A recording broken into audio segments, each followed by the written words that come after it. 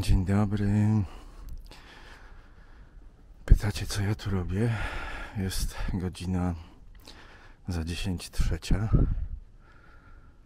Ulica, jak widzicie, kompletnie pusta, a ja czekam na mój transport. Dziś jedziemy do kanionu Kolka. Kanionu, który jest dwa razy głębszy od Grand Canyon.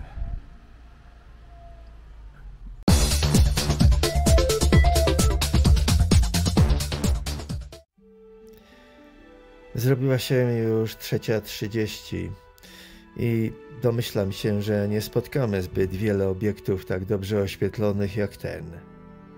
A mamy przed sobą około 100 kilometrów. Ja zostawiam włączoną kamerę. Dołączam do tego jakieś przyjemne dla ucha nutki i spróbuję dospać. A wy? Podziwiajcie Andy, to potem powiecie mi jak było. Na księżycu oczywiście nie byłem, ale Andy, które do tej pory zobaczyłem, chyba pasują do określenia księżycowy krajobraz. Przeproszę Was teraz i do zobaczenia, jak już koguty zaczną piać.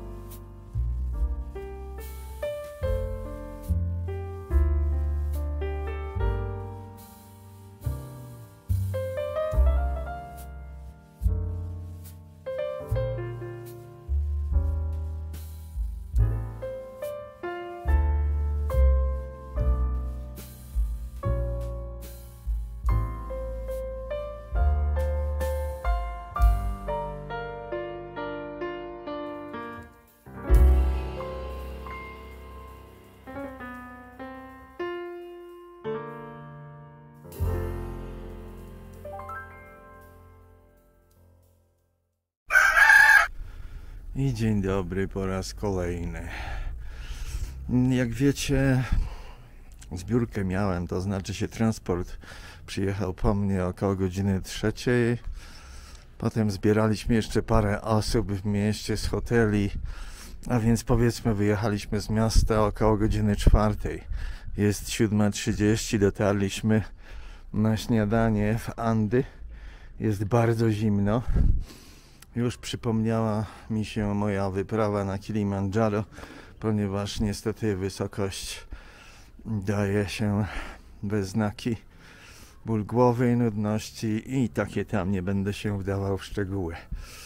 No ale nie tylko ja, bo ludzie tam mieli też kłopoty i odruchy wymiotne równo. Jest bardzo zimno, ale słoneczko świeci. Co jeszcze będzie dzisiaj? Trudno mi jest powiedzieć, ale wszystkim z Wami się sprawiedliwie podzielę.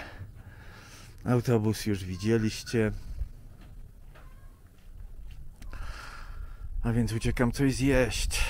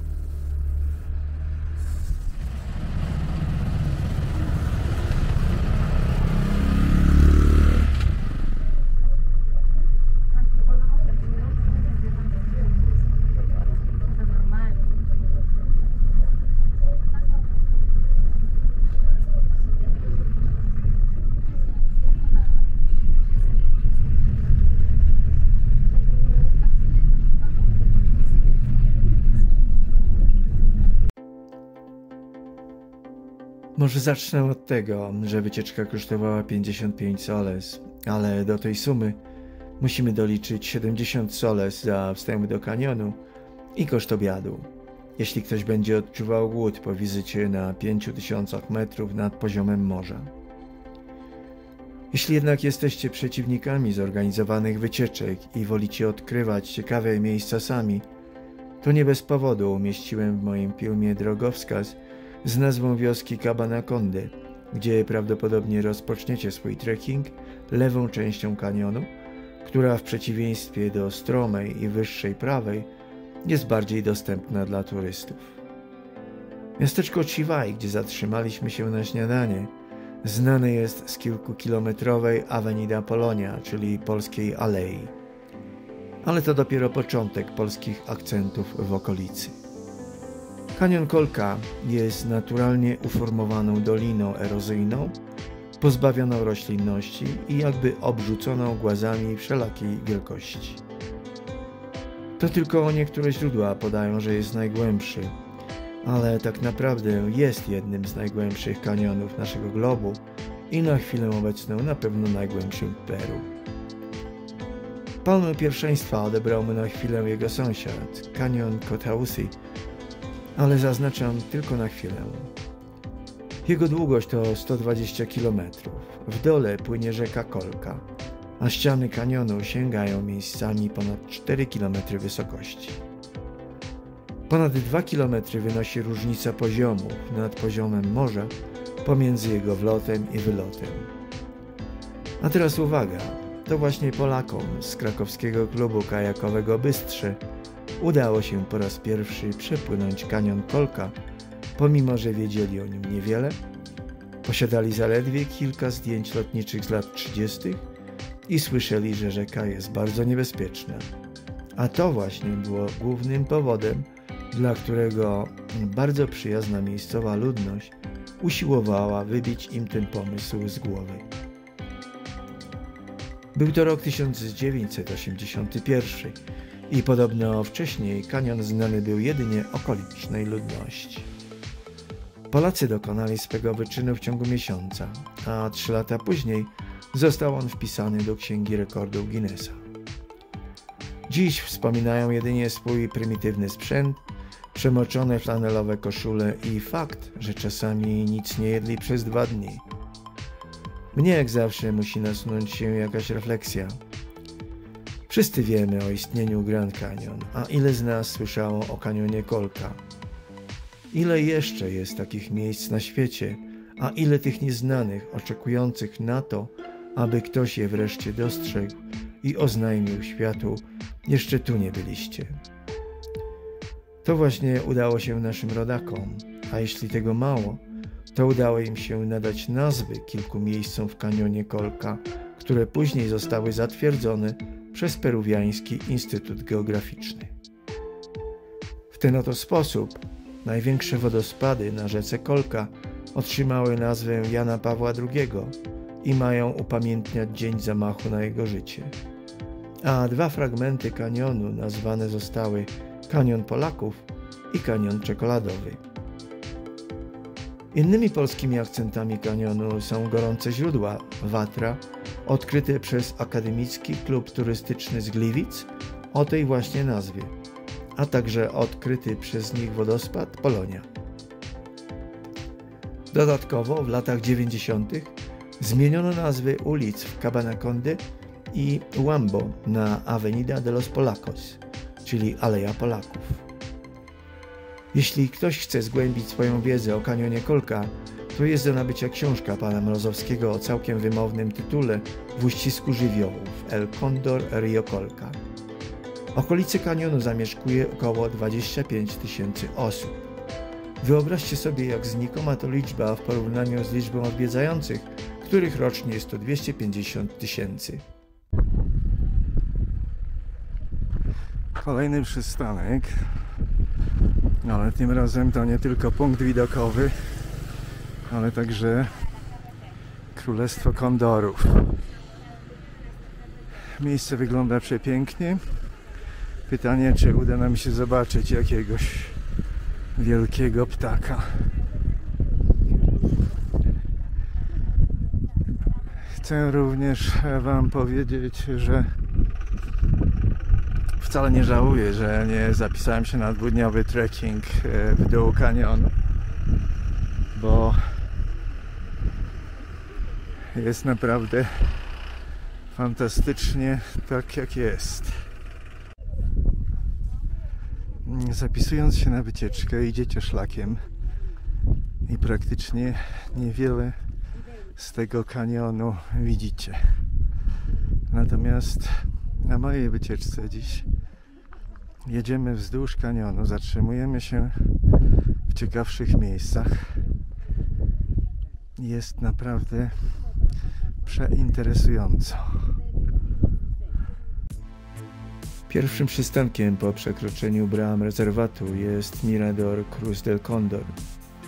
Wygląda na to, że strażnicy kanionu przywiązują ogromną uwagę do tych 70 soles opłaty za wstęp, bo jeden z nich wszedł na pokład naszego autokaru i skrupulatnie policzył, czy ilość uczestników wycieczki zgadza się z ilością biletu. Cruz del Condor, czyli Krzyż Kondora, to ogromna półka skalna zawieszona tuż nad kanionem i chyba największa atrakcja kanionu, ponieważ właśnie z tego miejsca można podziwiać szybujące kondory. W kanionie Kolka żyje około 50 tych pięknych ptaków, a rozpiętość ich skrzydeł może dochodzić nawet do 3 metrów. Podobno najłatwiej spotkać kondory przed 8 rano, ponieważ właśnie o tej porze górskie powietrze zaczyna nabierać wyższej temperatury i unosić je w górne partie kanionu. Ale jak widzicie i mnie się udało i nawet zrobiłem kilka fotek, nie mając teleobiektywu. No wiem, nie są one najlepszej jakości, ale to już wina słońca albo kondorów, ponieważ nie chciały pozować i specjalnie krążyły w miejscach, w których tego słońca było trochę za dużo, co zrujnowało i tak już wątpliwą kolorystykę kanionu. To właśnie w okolicy Cruz del Condor naszej polskiej ekipie nie udało się pokonać 20-kilometrowego odcinka, ale to tylko z powodu niskiego poziomu wody rzeki Kolka.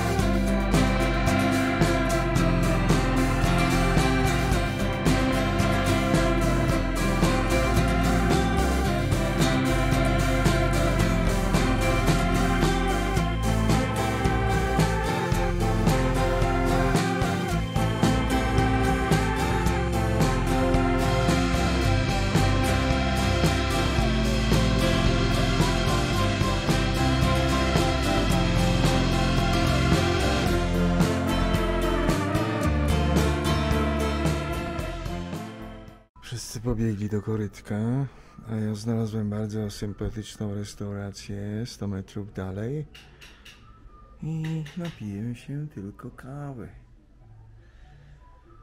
Wciąż mnie głowa boli od rana.